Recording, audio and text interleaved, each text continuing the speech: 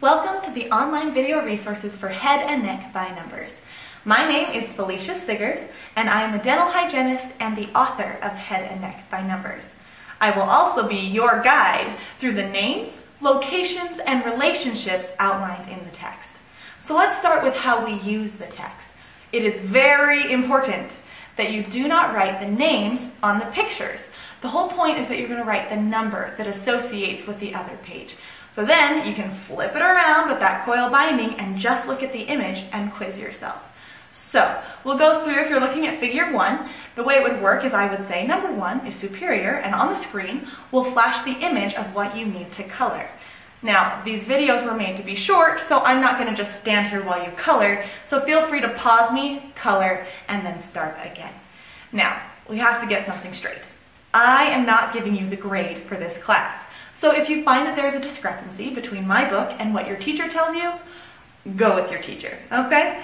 But other than that, I think that your teacher and I are both helping you to be a better student and learn anatomy in fun and interesting and hopefully helpful ways. Figure 22 is the extrinsic muscles of the tongue. These are the muscles that move the tongue. Number one is the dorsum of the tongue.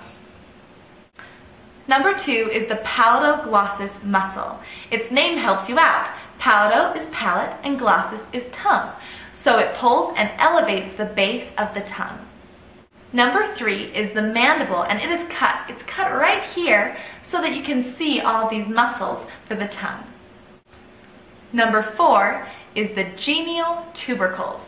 These little tubercles are bony projections on the inside of the mandible.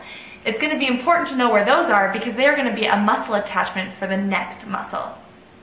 Number five is the genioglossus muscle. It connects at the genial tubercles and the glossus, which is the tongue. So when it contracts, it protrudes the tongue.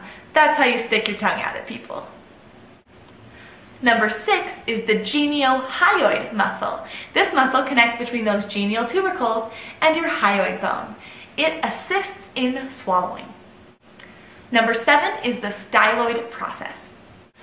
Number eight is the styloglossus. Connecting here at the styloid process and down at the glossus or the tongue, it actually retracts the tongue.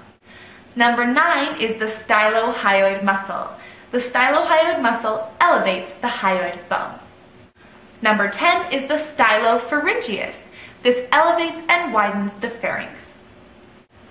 Number 11 is the hyoglossus. Connecting the hyoid bone and the glossus, or the tongue, it depresses the tongue. Number 12 is the hyoid bone. Remember, it doesn't have any other bony articulations. Number 13 is the thyrohyoid membrane. Number 14 is the thyroid cartilage.